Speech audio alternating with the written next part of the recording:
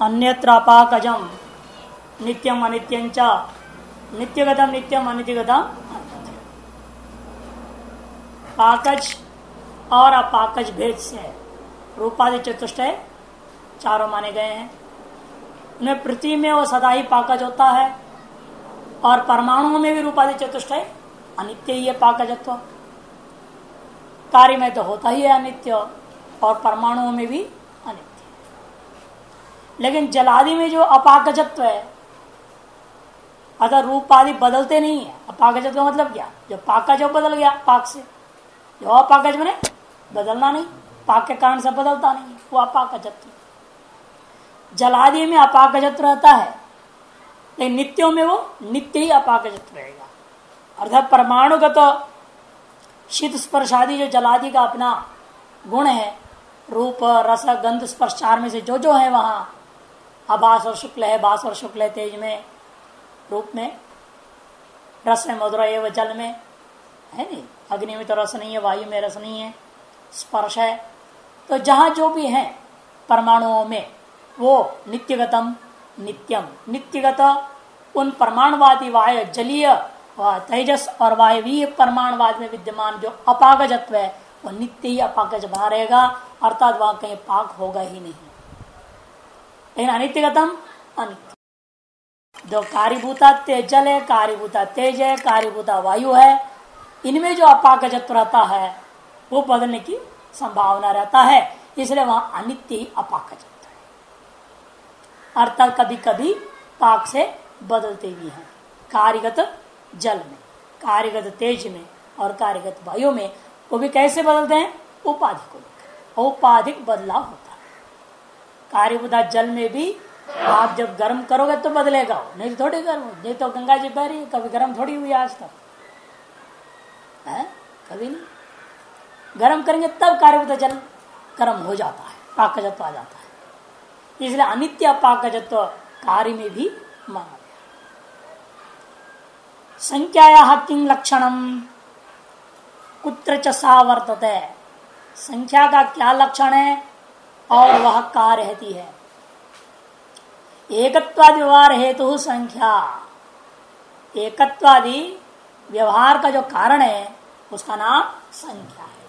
सा नव द्रव्य वृत्ति और वह संख्या पूरे नव द्रव्यों में रहती है। पृथ्वी में जल, तेज, वायु, आकाश में एकत्व संख्या ही है। औपाधिक अनेकत्व, काल में भी एकत्व है, औपाधिक अनेकत्व है। हम्म? दिशा में भी एकत्व औपाधिक अनेकत्व आत्मा में अनेक है ही है परमाणु भी अनेक है। मन, परमाणु रूपा मन जो है, वो भी अनेक है। इसलिए सभी में संख्या तो विद्यमान है ही। कहा है? है? ओ, है ठीक ठीक। एक तत्व निर्णय इत्थम। ये जो रूपाय चतुष्टय आपने पढ़ा है उस विषय में तत्व निर्णय इस प्रकार से किया जाता है। पाको नाम विजातीय तेजस संयोग विलक्षण तेजस संयोग एक सामान्य तेज है, जो प्रसिद्ध है उष्ट स्पर्श तेज करके, बाही जो अग्नि हम अनुभव करते हैं, उसके पेशा से विलक्षण तेज का नाम पाक है। सच नाना जातीय रूप जनको विजातीय तेजस संयोग वह नाना जातीय रूप का जनक है, गंध का जनक है, रस का जनक है, स्पर्श का भी जनक है। ऐसा एक विजातीय तेज संयोग है वो पाक तदपेक्षा रस जनको विजातीय तेज संयोग है।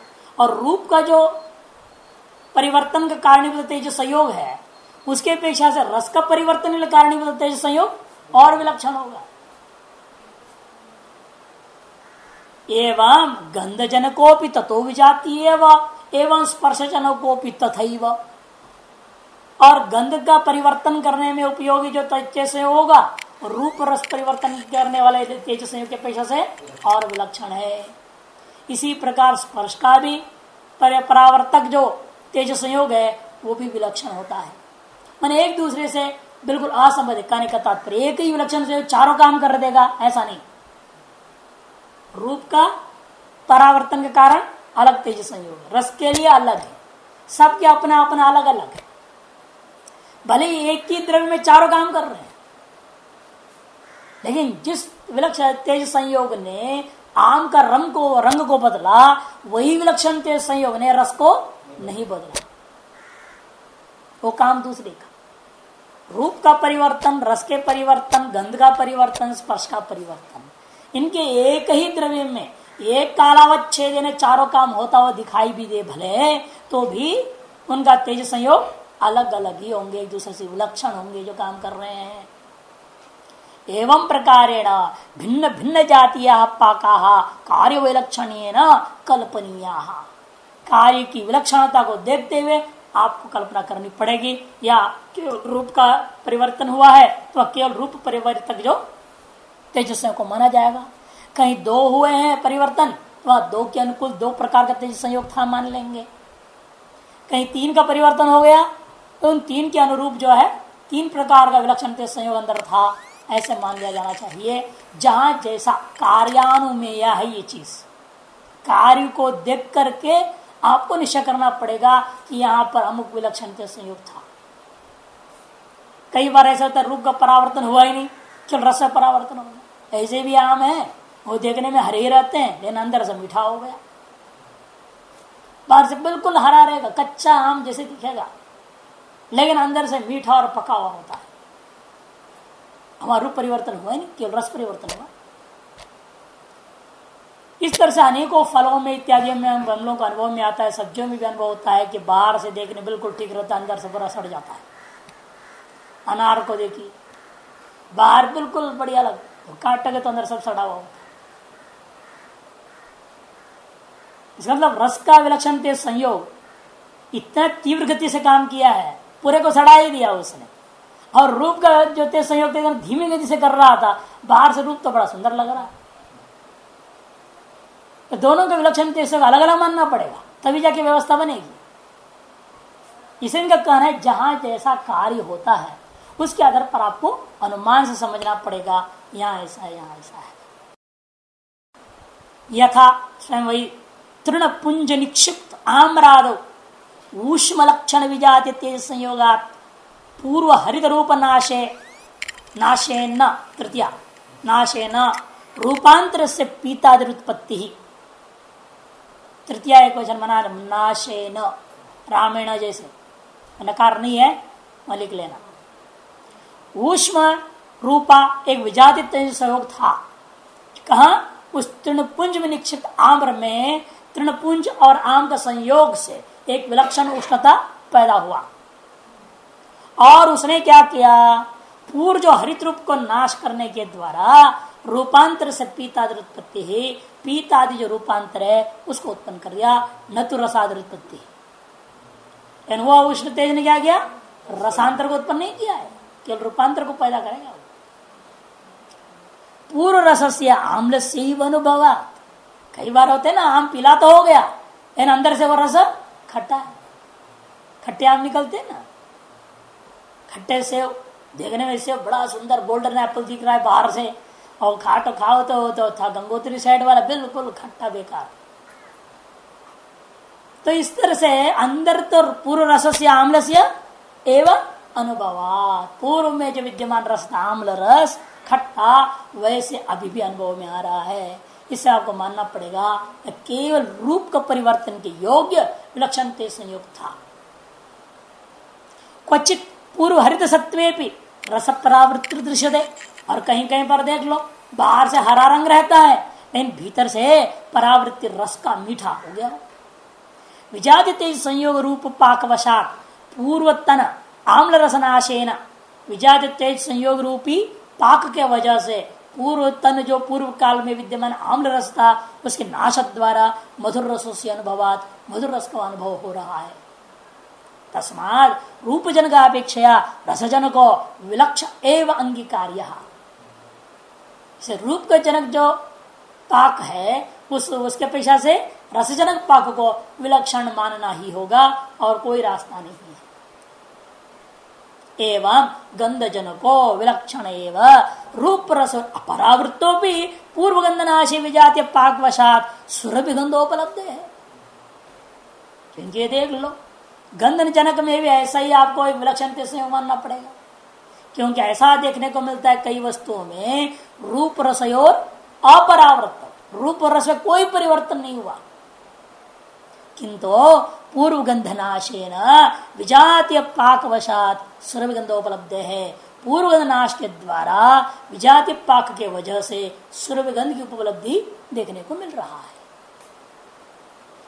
एवं स्पर्श जनकोपी एवं स्पर्श जनकोपी हम इसके लिए उपमा का दृष्टान देते हैं।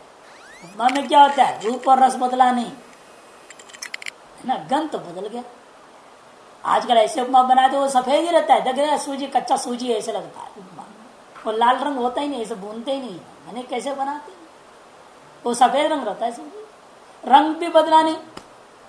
रस में तो वही सूजी तो सूजी है। हैं? लेकिन गंध देखो, छोंग छांग के बना दिया और ओहो दूर दूर से ही पता लग जाता हाँ यहाँ उपमा बना हुआ गंध बदल गया। तो वहाँ पर रूप और रस के परावृत्ति के योग्य तेज संयोग नहीं था। केवल गंध के परावृत्ति के योग्य ही विलक्षण तेज संयोग उन्होंने बनाया। यह मानना पड़ेगा। एवं स्पर्श जनकोपे पाकवशात कठिन स्पर्शनाशे मृदु स्पर्शानुभव का पाक के वजह से कठिन स्पर्श का नाश होने पर मृदु स्पर्श का अनुभव हो रहा है। लेकिन वहाँ रूप, रस, गंध का परावृत्ति नहीं है। तस्मात रूपादि जनका विजातिया पाका यथा कार्यम उन्नेया। इसलिए रूपादि का जनक विजातीय विजातीय पाकों को ही कल्पना करना पड़ेगा। जैसा जैसा कार्य है, वैसे वैसे आप निश्चय कर ले। अतएव पार्थिव परमाणु नाम एक जातीय पाक महिमना विजाति द्रव्यांतरानुभव इसलिए पार्थिव परमाणुओं में एक जातीय एक जातीय परमाणु है सभी। पार्थिव परमाणु पार्थिव परमाणु है।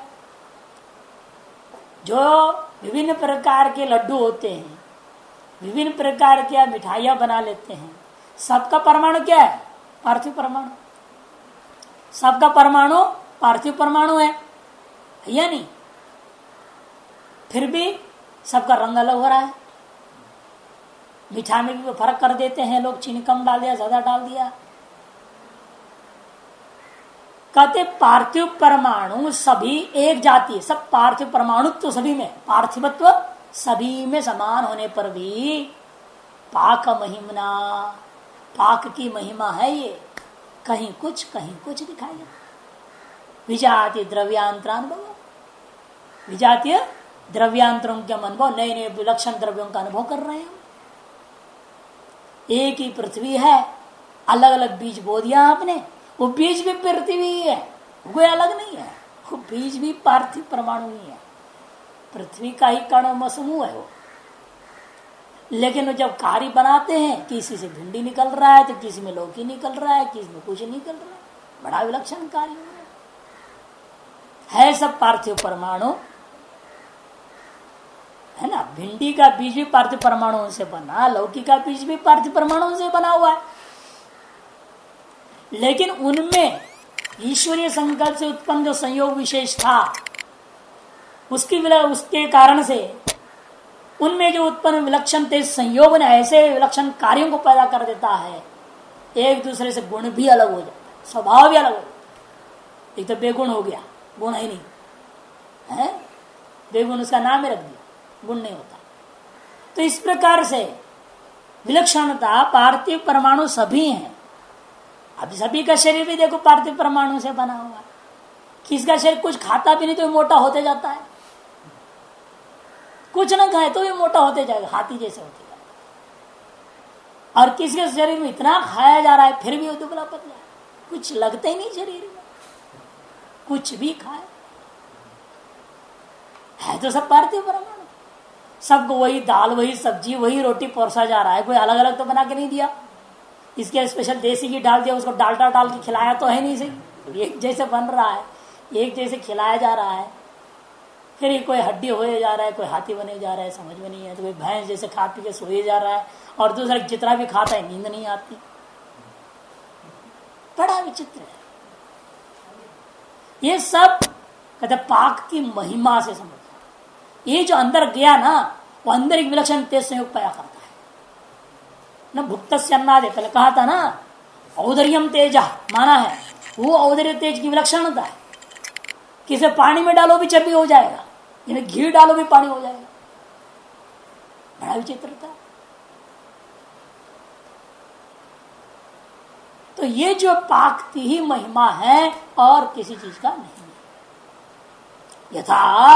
है गाय और सांड को देंगे ये। गाय को भी घास खिलाते हो, है ना?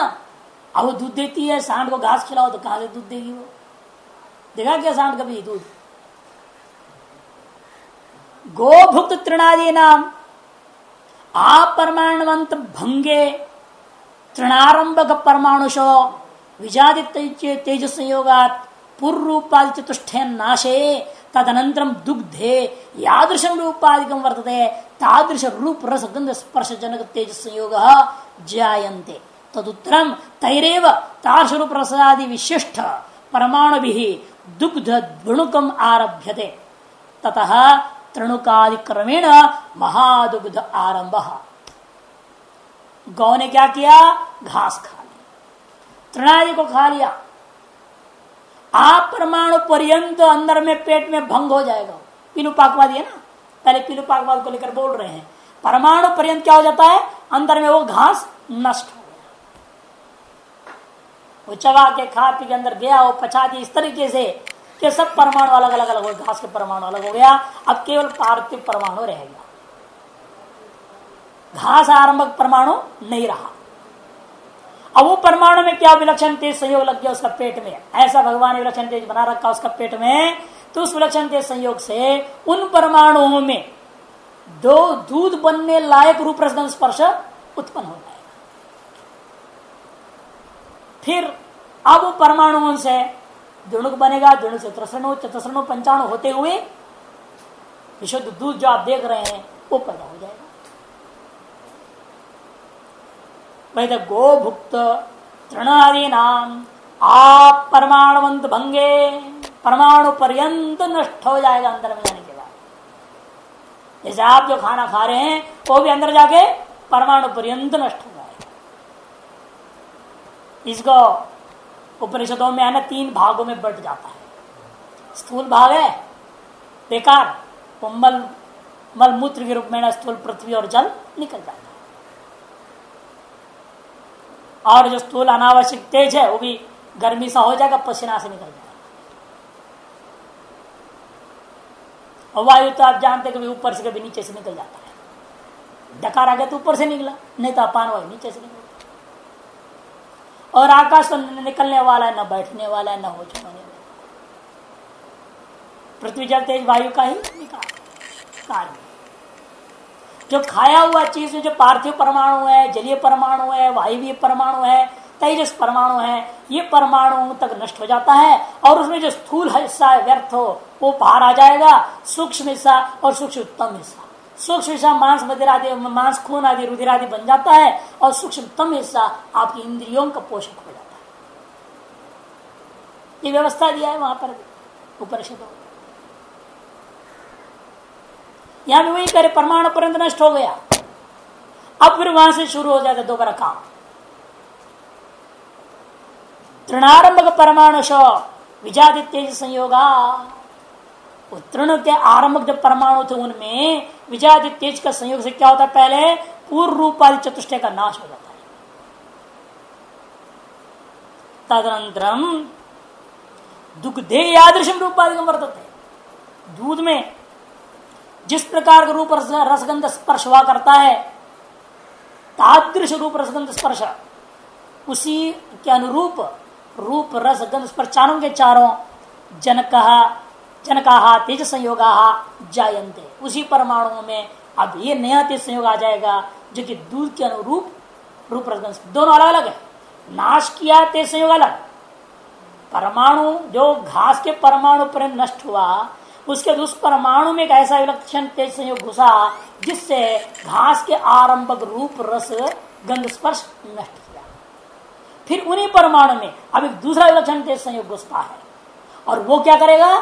दूध के आरंभ रूप रसगन स्पर्श को शुरू करेगा। जिस विलक्षण तेज संयोग ने घास के आरंभक रूप रसगन स्पर्श को नष्ट किया, वो तेज संयोग दूध के आरंभक रूप रसगन स्पर्श को उत्पन्न नहीं करता। यह अलग उसी परमाणु में पैदा हो जाता है। यह मन इसलिए पड़ता है तो नष्ट तो भैंस का भी शरीर में हो रहा है, भैंसा का शरीर में भी हो रहा है, सांड के शरीर में भी घास नष्ट हो रहा है, बकरे के भी शरीर में नष्ट हो रहा है, परमाणु पर नष्ट हो ही रहा है, रूप स्पर्श भी नष्ट होता होगा वहाँ अंदर में। यदि वही विलक्षण संयोग जो नष्ट करता है, वो भी दूधारंभक होता, फिर तो सांड आदि में भी दूधारंभ होने लग जाएगा। इसे कहते नहीं। यहाँ अलग मानना। जिसने नाश किया, वो दूध के रूप स्पर्श को आरंभ नहीं करेगा। ये अलग विलक्षण संयोग आकर के उसको आरंभ करता है। यह जीवों का अदृष्ट है। यही जीवों का अदृष्ट है। कई बार होता है, आप देखते हैं, ऐसे बच्चे पैदा होते हैं, माँ का दूध एक बार भी नहीं पीते। एक बार भी नहीं। कई बार माँ का दूध ही सूख जाता है। उल्टा भी होता है। अब बच्चा चारा पीने को माँ गया दूध ही नहीं उस जीव का दृष्ट है। उस जीव का अपने पुण्य पाप की वजह से माँ के स्तन में दूध होता नहीं। या उसी के जीव के कारण से पुण्य पाप की वजह से माँ का स्तन में दूध लेकिन पी नहीं पाता। दोनों तरह की चीज़ें आप व्यवहार में, जैसे हम देखते हैं मनुष्यों में, इसी प्रकार यहाँ भी समझे किसी किसी गाय में दूध का आरंभ विलक्षण जैसे वो रहता है, वही गाय बुढ़िया हो जाती तब क्या होगा? तब भी घास खा रही है। अब वो दुग्ध आरंभ विलक्षण जैसे उसमें नहीं आता पेट में। विचित्रता दे वही गाय जो पहले 20-20 लीटर दूध दिया करती थी, लेकिन वही बुढ़िया गई। उसके दुग्ध तृणा है ना? दग्ध तृणा निरिंद्रिया, कठोपनिषद। ऐसी गाय हो जाती है जिसमें कोई दम ही नहीं। तो दूध कहाँ से आरंभ करेगी? जितना भी घास खिला लो, वहाँ वो विलक्षण वो नहीं होता जिसे दूध आरंभ हो जाए। इसे इनका कहना है तादृश रूप रसगंध स्पर्श जनक हाथे संयोग असयोग जायते तदुत्तरम तैरव तादृश रूप प्रसाद विशिष्ट परमाणु भी। वो तादृश मने दुग्ध आरंभक रूप प्रसाद विशिष्ट परमाणु के द्वारा दुग्ध द्वणुकम आरभ्य दुग्ध द्वणुक आरंभ हो जाए अब दुग्ध द्वणुक से तथा तृणुकादिक्रमेण महादुग्धारंभ फिर त्रिश्रेणो या तृणुक कहते हैं, चतुस्राणो और पंचाणु आदि क्रम से महादुग्ध पर्यंत वस्तु बन जाते महत परिमाण वाला बन जाए एवं दूध आरंभ गई परमाणु भी दधि आरभ्य इसी प्रकार समझना। वो दूध के आरंभक जो परमाणु थे, जब आप जामन डाल के छोड़ देते हो, वो दूध परमाणु पर्यंत नष्ट हो जाएगा। परमाणु पर्यंत नष्ट होने के पश्चात, जिस विलक्षण तेज सहयोग ने परमाणु पर्यंत में विद्यमान स्पर्श को नष्ट किया, वह नष्ट करके निवृत्त हो जाता है। फिर दही के आरंभक रूप स्पर्श की अनुकूल एक विलक्षण तेज संयोग उस परमाणु में हो जाएगा, और वो वहाँ पर दही के अनुकूल रूप रसगन स्पर्श उत्पन्न करेगा। तत्पश्चात विणुक बनेगा त्रिशण क्रम से महा दही बन जाता है। पाक महिमना दध्यारंभ गई रेव परमाणु भीर नवनीत आदिकमिति दिख इसी पाक की महिमा से उसी दही से आप मक्खन निकालते हो, मक्खन से घी बनाते हो, घी से मालपुड़ा बना लेते हो, सारा क्रम से बनते जाता है। सारे प्रक्रिया यही है। पाक की महिमा से एक से एक से दूसरा, दूसरे से तीसरा विलक्षण कार्यों को आप देखते हैं। संख्या पर न्याय बोधनी नहीं है। संख्या, परिमाण पृथक तो संयोग, विभाग, इनमें कहीं भी नहीं है। विभागम लक्षित है, वहाँ जाकर के थोड़ा देख चले फिर वहाँ तक मूल देख लेंगे। एकत्वादिवार हेतु संख्या सा नवद्रवृत्ति एकत्वादि परार्थ पर्यंता एकत्व नित्यम अनित्यम च, नित्यगतम नित्यम, अनित्यगतम अनित्यम। द्वित्वादिकम तो द्वि आगे छप गया है त्वादिकम यहाँ पर छप गया द्वि को इधर चिन्ह लगा दो, सर्वत्र से पहले द्वि आ गया है। द्वित्वादिकम तो सर्वत्र अनित्यम एवं एकत्वादि, एकत्व, द्वित्व तृत्वादि व्यवहार का कारणीभूता गुण विशेष का नाम संख्या है। एको दो इत्याद्यात्मक तस्य हेतु असाधारण कारण संख्या व्यवहार हेतु करेंगे तो घटत्वादि घटादि में व्याप्ति हो जाएगा। इसीलिए एकत्वादि विशेषण देना ज़रूरी है। और कालादि में व्याप्ति वारण करने के लिए असाधारण कारण देना क्योंकि वो साधारण कारण है। व्यवहार के प्रति असाधारण कारण शब्द देना पड़ेगा। एकत्वादिवार असाधारण कारण संख्या। संख्या की अवधि होती है या नहीं? इस आशंका पर दो श्लोक दे रहे देखिए। एकम दश शतं सहस्रम मयुतम तथा लक्षंच न्यूतं कोटिर अर्बुदमेव वृंदं खर्वो निखर्वश्च शंख पद्मश्च सागर अंत्यम मध्यम परार्धं दश वृद्धिया यथाक्रमम। यहाँ जो लोक में हिंदी में व्यवहार होता है और यहाँ में बहुत फ़र्क।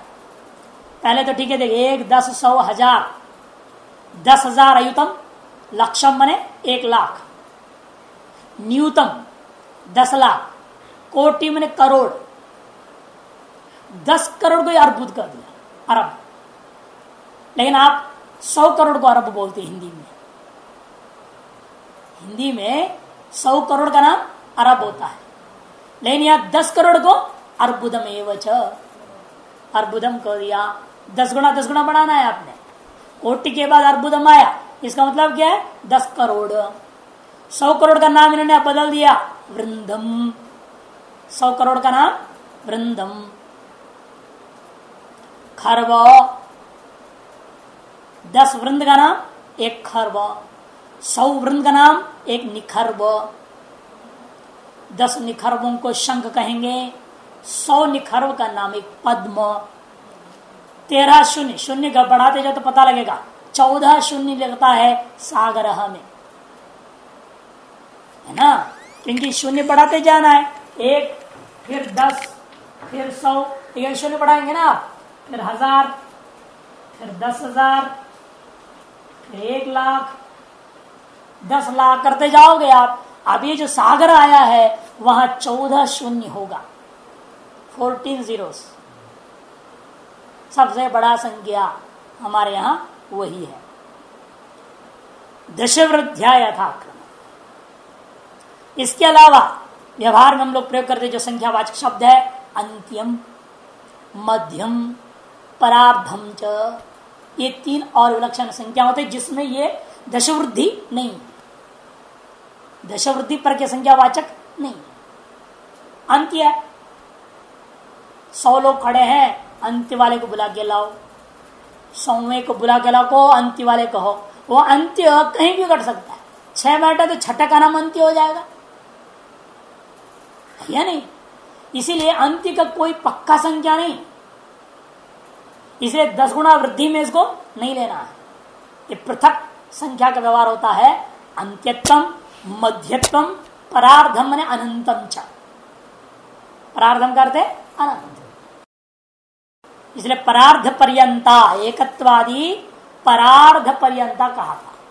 परार्ध तक लेना एकत्व जो संख्या है, ये नित्य भी होता और अनित्य भी होता जैसे परमाणु, एक परमाणु में रहने वाली एकत संख्या नित्य आकाश है, काल है, दिग्ग है, ये सब नित्य पदार्थ है। इनमें रहने वाले एकत्व संख्या भी नित्य लेकिन अब एक कलम ले लिया, और इसमें एकत्व संख्या बोलोगे तो ये एकत्व संख्या नित्य हो जाएगा।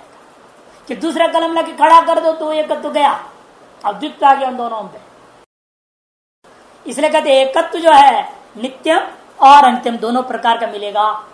नित्यगतम नित्यम और अनित्यगतम अनित्य हुआ करेगा। लेकिन द्वित्वादिकम तो द्वित्वादि जो होते हैं वो सर्वत्र अनित्यम एवं सदा ही अनित्य। के सापेक्ष है ना, अपेक्षा प्रतिचन्य द्वित्व जो संख्या है, वो अपेक्षा प्रतिचन्य अगर कितने लोग हैं, इस प्रश्न का जवाब आप अनेक प्रकार से देख सकते हैं। आप कह सकते हैं, कुल मिला करके बारह है। या नहीं? आप तो ये भी बोल सकते हैं, नहीं नहीं जी, बारह नहीं है। छह तो सफ़ेद वस्त्र वाले ब्रह्मचारी, चार लाल वस्त्र वाले, फिर दो ग्रस्त थी अब ऐसे बना, बताना तो है तो बता रहे ये तो अपेक्षा करता है। इसको आगे आएगा, द्वित्व का निर्णय यहाँ नहीं आएगा मुक्तावली में लिया है।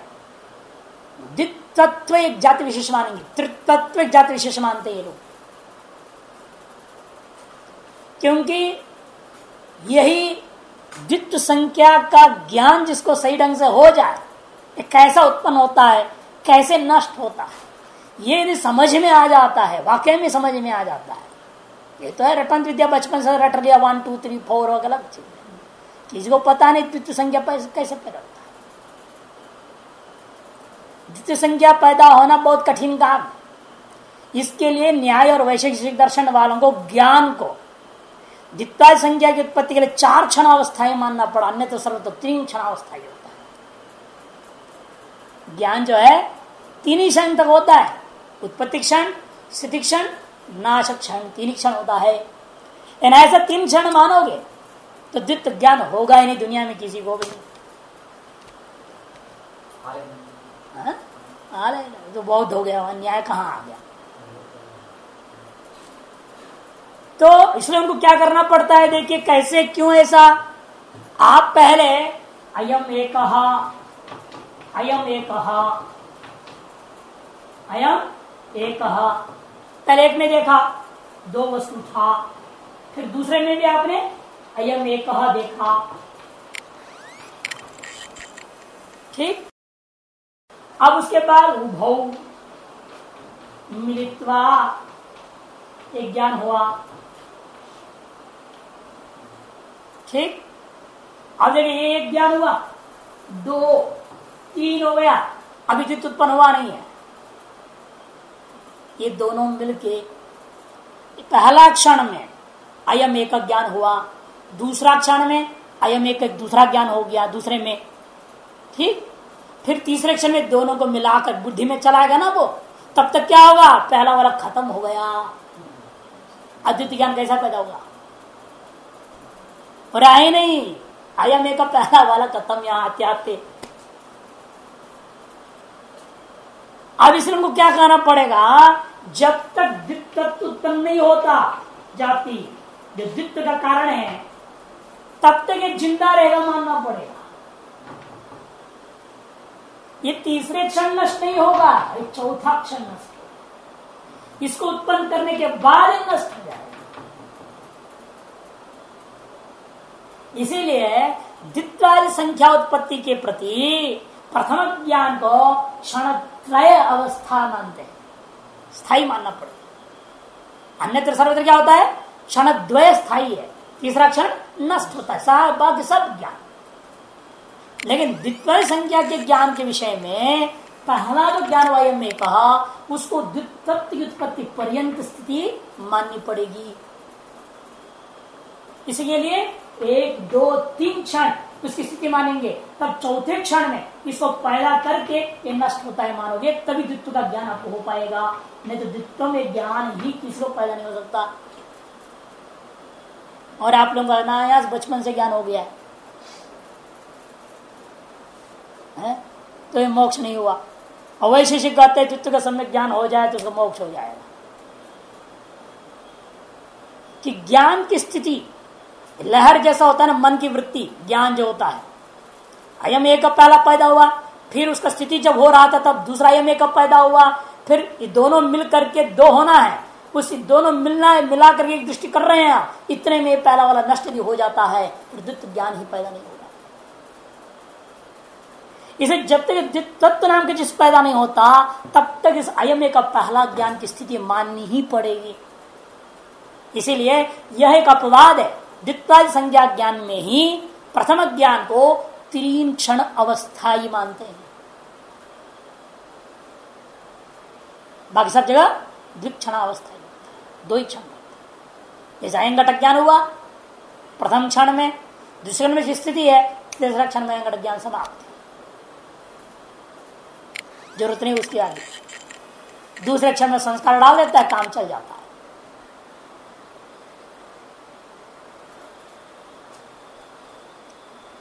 तो ये विलक्षणता है द्वित्व के ज्ञान के प्रति। तो इसलिए उन्होंने कहा कि जो द्वित्वादि सर्वत्र भले अनित्य है उत्पत्ति के उत्पत्तिकृत विशेषता को ध्यान देना ही चाहिए। परिमाण से किम लक्षण, के चतस्य भेदा। परिमाण का क्या लक्षण है? और उसके कितने प्रकार के भेद है? मान व्यवहार असाधारण कारणम, परिमाणम परिणाम हो गया है। परिमाणम बनाओ उसको। है ना? गलत छपा है। परिमाणम होना चाहिए, परिणाम छपा। है मान व्यवहार असाधारण कारणम, परिमाणम। मान मने लंबा, चौड़ा, ऊँचा, मोटा, है ये नहीं? भारीपन, ये सारा चीज़ आ जाता है। सभी प्रकार के नाप। सभी प्रकार के नाप का व्यवहार के असाधारण कारण का नाम परिमाण है। कहा रहता है? नवद्रव्य वृत्ति ये भी नवद्रव्य में रहता है। आकाशीय परिमाण है, विभु है। सर्वव्यापक व्यापकत्व भी परिमाण उसमें है। काल में, दिशा में, विभुत्व है ना, व्यापकत्व। वो भी परिमाण है। तत्चतुर्विधम अणु महत दीर्घम चेती। और वह विचार चार प्रकार का है। अणु परिमाण, महत परिमाण, दीर्घ परिमाण ह्रस्वंचा इनमें और जोड़ेंगे पर मध्य सब जोड़ के उसकी, और प्रभेद पैदा कर सकते हैं। परमाणु, सन परमाणु हो गया। मध्याणु, मध्यमाणु, है कि नहीं? इसे परमहत मध्यम हत इसलिए परम ह्रस्व मध्यम ह्रस्व परम दीर्घ मध्यम दीर्घ इस तरह से आप सभी में जोड़ के समझ सकते हैं। तो टीका में दिया हुआ है सारा। कहा क्या आता है वो भी देख लेंगे। इसमें भी तथा विरला टीका में देखिए। चतुर्विधम परिमाणम नित्य नित्य भेदेन द्विविधम बोध्यम। ये चारों प्रकार के जो अणु महती रस्व है ये भी नित्य और दोनों प्रकार के कि जो परम महत्व है, आकाश में जो रहता है, काल में जो रहता है, दिशा में जो रहता है, जो परम महत्व परिमाण है, वो तो नित्य वो कभी नष्ट होता नहीं। और परमाणु का जो अपना अणु परिमाण है, वो भी कभी नष्ट नहीं होता। इसे नित्य भी होते हैं। और अन्य में अनित्य भी होते हैं। नित्यगतम नित्यम, अनित्यगतम अनित्यम। तथा अनित्य जो होते हैं उपना दो प्रकार का है, संख्याजन्यम परिमाण जन्य द्विविधम। एक तो संख्याजन्य, परिमाण, जैसे चावल है। आप ढालते जाओगे, जितना गिन सके डाल सकते हैं ना, इतना चावल। उदय के कवे अलग होता है, दाल वगैरह जाते और दूध के लिए? वहाँ वे जोड़े थोड़े जा रहे तेल वगैरह? वाला अलग दाना नहीं है। धारा है वो। इसलिए कहते कहीं संख्या जन्य मानना पड़ेगा, कहीं परिमाण जन्य मानना पड़ेगा, कहीं प्रचय जन्य भी मानना पड़ेगा। जैसे रुई है। रुई में क्या करोगे? यूँ फैला दिया तो लंबा चौड़ा हो जाएगा। एक किलो। रुई, इतना बड़ा होगा। और उसको दबा दो तो वही एक किलो रुई इतने में आ जाएगा। उसको प्रचयजन्य कहते हैं महत परिमाण को प्राप्त हो गया रुई। था उतना एक ही किलो। वज़न तो बड़ा नहीं। लेकिन उसको आपने फैला दिया। तो रुई जो इतना लंबा चौड़ा दिख रहा है, महत परिमाण को प्राप्त हो गया। उसको दबा दो। तो एकदम अणु परिमाण जैसे हो गया। तो इसको हम क्या कहते हैं? प्रचयजन्य परिमाण। संख्याजन्य परिमाण, परिमाणजन्य परिमाण और प्रचयजन्य परिमाण। तथा आद्यम परमाणु द्वित्वजन्यम दुणुके पहला वाला उसमें जैसे दुणुक में संख्या कृतजन्य ना? दुणुक क्या है? दो परमाणु मिला। दो परमाणु मिल गया, इसका नाम दुणुक है। दुणुक का मतलब क्या दो अणु दौ अणु अस्मिन इति द्वणुकम दो अणु जिस एक में आ गया। अरे संख्या से एकत्र में आ गए ना दो परमाणु के परमाणु का द्वित्व संख्या को मिला करके एक दृढ़ हमने बना लिया। दो अणु यस्मिन या अस्मिन इति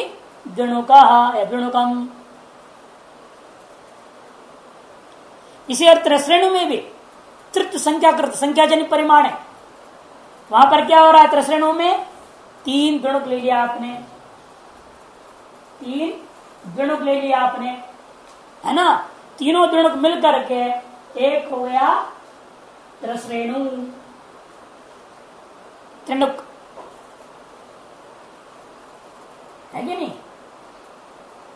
त्रीणी द्वेणुकानी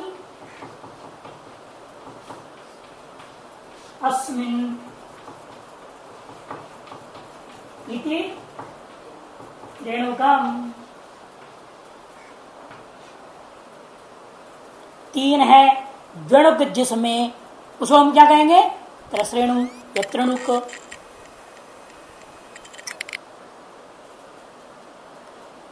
तृत्व संख्या जन त्रणुके। द्वितीय अब परिमाण जन का क्या है? घड़ा है। बड़े बड़े घड़ा बनते थे ना पहले, वो क्या करते दो छोटा टुकड़ा बनाएँगे बोले कपाल बनाएँगे, छोटा सा। उसको कपाल कहेंगे। ऐसे दो तीन भाग बना लेंगे। फिर वो पहले वाले को रखेगा, दूसरे को रख करके थोड़ा सा गीला में मिला करके उसको जोड़ देता है। फिर ऊपर वाले को जोड़ देगा। सुराई वगैरह तो ऐसे बनाते ना, दो हिस्से में होता है जोड़ दिया जाता है। और ऊपर का मुँह को अलग जोड़ देते हैं, सबको अलग अलग जोड़ते हैं अलग अलग टुकड़ों में बना, फिर उनको जोड़ दिया। उसको कहते हैं, उन टुकड़ों के परिमाण के अधीन है, वो घट के परिमाण। है या नहीं जैसे कपड़ों को भी टुकड़ों में काट देता है टेलर। और जैसे साइज़ काटा, उसी हिसाब से तो शर्ट बनेगा आपका। या नहीं? तो उन टुकड़ों के परिमाण के अधीन है। उस आपके जब बना हुआ कमीज का नाप। कई बार गलत काट देते हैं तो इधर टाइट हो रहा है, कहीं इधर टाइट हो रहा है। आदमी परेशान होता है कि नहीं होता? वो गलत काट दिए क्या करें? इसलिए कहते हैं वो परिमाण जन्य ऐसे स्थलों में समझना। परिमाण तृतीय तो तूलावय जन्यम तूले इति। तीसरा कौन है? तूल का अवयवों से जन्य होता है, तूल में, रुई में।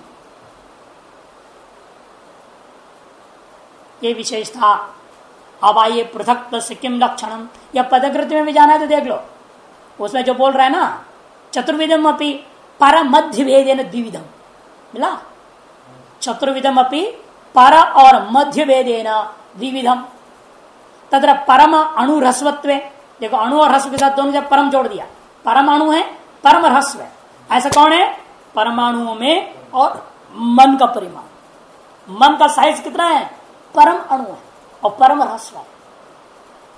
परम अणु और परम रस परिमाण किसका? मन का परिमाण और परमाणुओं का परिमाण भी।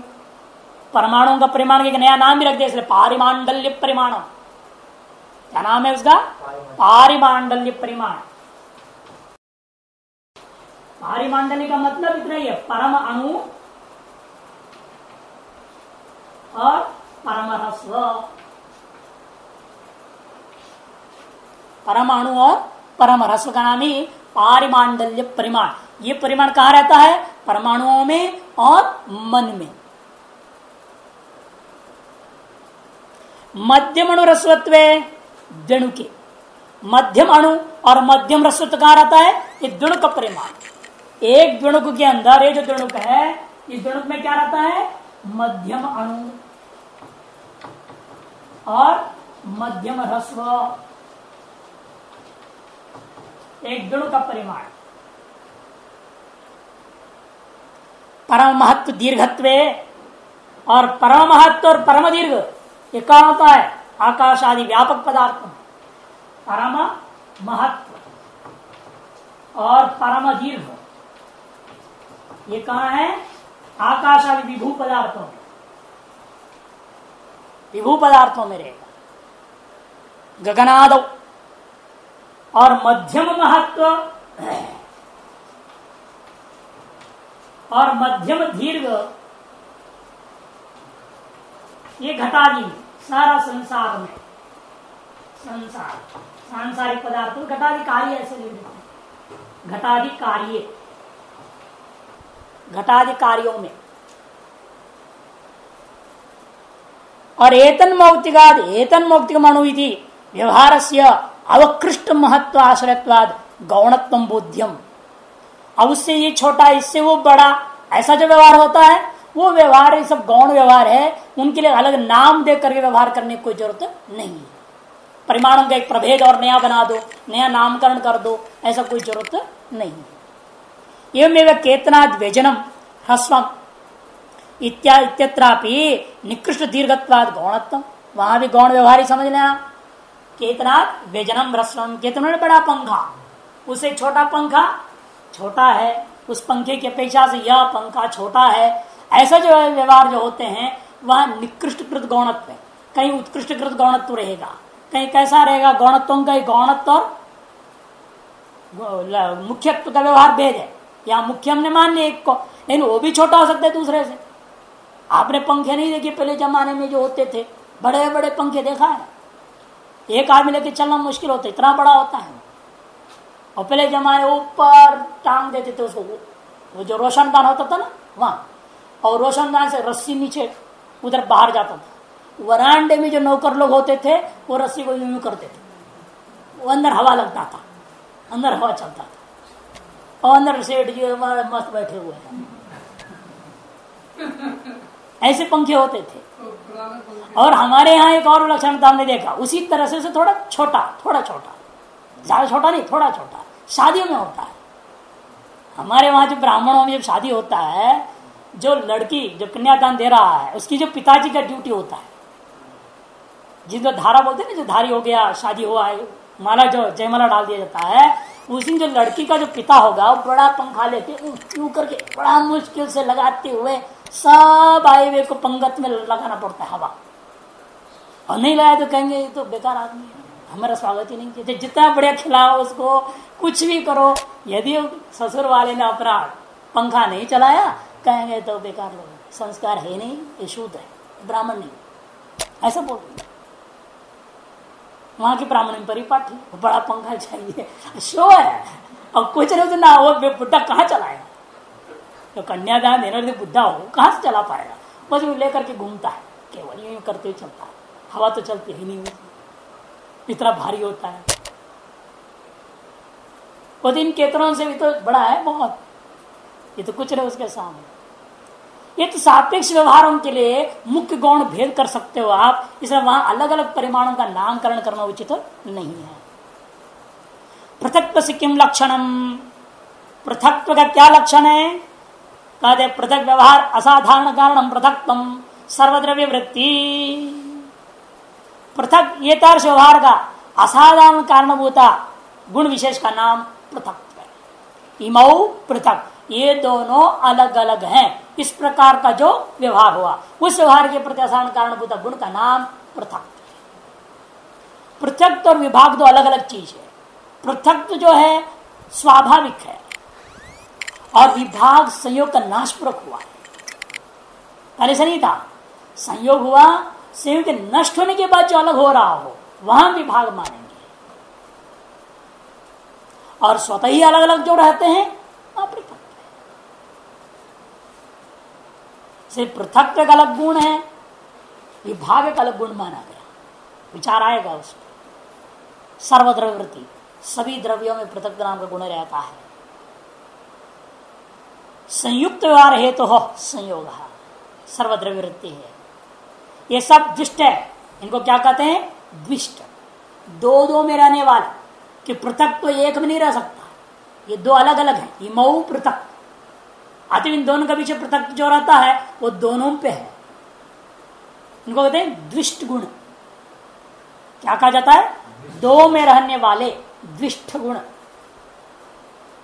आपके परिमाण जित्वादि है, संख्या है, परिमाण जितने भी है जुणकादि का परिमाण, ये सारा दो परमाणु में है ना?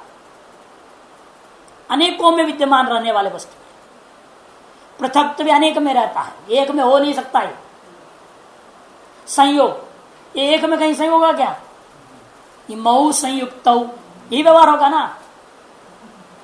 इमऊ संयुक्त एतार्श व्यवहार के प्रति जो असाधन कारण है उसका नाम संयोग है। इसलिए ये भी दुष्ट गुण है। दो में रहने वाले गुण। सर्वद्रव्य वृत्ति। ये भी सभी द्रव्यों में रहता है। लेकिन इनमें भी, भी अंतर थोड़ा समझना। दुष्ट होते हुए कुछ तो व्याप्ति वृत्ति होते हैं, कुछ अव्याप्ति वृत्ति होते हैं। जब संयोग है, अवयव है, अब यहाँ जहाँ छू रहा है दो अंगुलियाँ, वहीं पर संयोग है ना? इधर का है? नीचे, ये ऊपर, कहीं नहीं है संयोग। इसे संयोग को हम क्या कहते हैं? अव्याप्य वृत्ति। ध्यान में रहा है? इस साइड में संयोग नहीं है, ऊपर में संयोग नहीं है, इधर में संयोग नहीं है। जहाँ छू रहे हैं दो अंगुलियाँ वहीं पर संयोग होगा। अन्यत्र संयोग नहीं है। जैसे बोर्ड और लेखनी का सहयोग होता है, अब जहाँ छू रहे हैं, वहीं पर संयोग है। बाकी लेखनी में बोर्ड का संयोग नहीं है। इनको अव्याप्य वृत्ति के पृथक तो ऐसा नहीं। आप दो अलग अलग इमो पृथक, व्यवहार किया। और पृथक तो कहाँ रहेगा ये कोई नहीं कि चमड़े में कहीं एक हिस्सा देखोगे आप। दोनों में पूरे में है पृथक। तो व्याप्य वृत्ति दिष्ट कहा जाता है। दिष्ट होता है वो व्याप्य दो संख्या है। ये कहाँ रहेगा। ये नहीं कि दो है एक दो यू मिला दिया तो संयोग संख्या जैसे संयोग अव्याप्य वृत्ति है संख्या अव्याप्य वृत्ति नहीं है। ये पूरे अंगुलियों में दुष्ट रहे, द्वित्व रहेगा। दो अंगुली कहूँगा तो द्वित्व जो है दोनों अंगुलियों में पूरा रहेगा आगे पीछे ऊपर नीचे पूरे में रहेगा। ऐसे द्वित्व संख्या पृथकत्व और जो महत परिमाण ये सब कैसे हैं?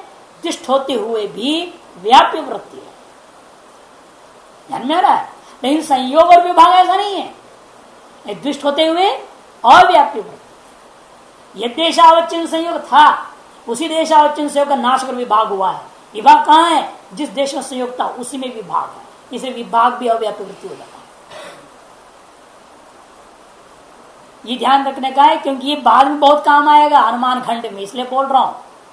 बाप पूछूँगा तो आ करके आकाश वृत्ति नहीं देखने का। संयोग क्या होता है? अव्याप वृत्ति होता है। कपिल संयोग आया है ना? कपिल संयोग आता है पूर्व पक्ष व्याप्ति में। अव्याप्य वृत्ति वही लोग समझाते हैं। हम पहले समझा देते हैं यहाँ। ताकि वहाँ सुविधा हो जाएगा। तो संयोग और विभाग इसलिए क्या है? दिष्ट होते हुए अव्याप्य वृत्ति है। ठीक? संयोग नाशको गुणो विभाग। विभाग से किम लक्षण संयोग नाशको गुणो विभाग। संयोग का नाश किया जाता है जिससे ऐसे गुण विशेष का नाम विभाग। संयोग नाशकत्व विशिष्ट गुणत्व विभाग से लक्षण। ये विभाग का लक्षण। न्याय बोधनी में। संयोग नाशकत्व विशिष्ट गुणत्व विभाग से लक्षण। विशेषण मात्र उपादान क्रियाया संयोग नाशकत्व तत्र अतिव्याप्ति विशेषण मात्र ले लो। है? नाशको गुण इतना कह दो। नहीं संयोग नाशकत्व गुण शब्द हटाओ संयोग नाशकत्व विशेषण है ना? संयोग नाशकत्व में विशेषण है, और गुणत्व विशेष है।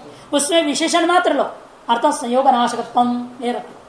इतने ही लक्षण करूँगा तो कर्म में अति व्याप्ति क्रिया में। क्योंकि क्रिया किए बिना संयोग का नाश नहीं कर सकता। आपका संयोग हो रखा है पृथ्वी से। आपको क्रिया करनी पड़ी। उठना रूपी क्रिया के बिना आपका पृथ्वी का संयोग का नाश नहीं हो सकता। उठना पड़ेगा ना। उठोगे तब तो संबंध टूटेगा नहीं। इसे क्रिया भी क्या है? संयोग का नाश।